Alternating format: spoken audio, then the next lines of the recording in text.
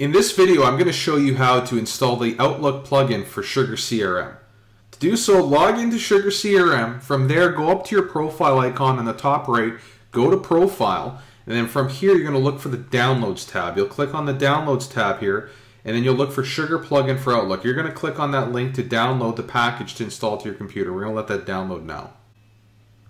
Now that it's downloaded, we're going to open up the zip file. We're going to double click the setup icon. And from there, we're going to follow the prompts to install the Sugar Outlook plugin here. We're going to click on Next, Next, agree to the terms, click Next, and just follow the prompts. Make sure you read them. I've been through it a few times, so I am pretty sure I know what's going on there. Uh, from there, it's installed. We'll close this window. We'll now go and install or open up the Outlook uh, window so we can go and configure the Sugar Outlook plugin.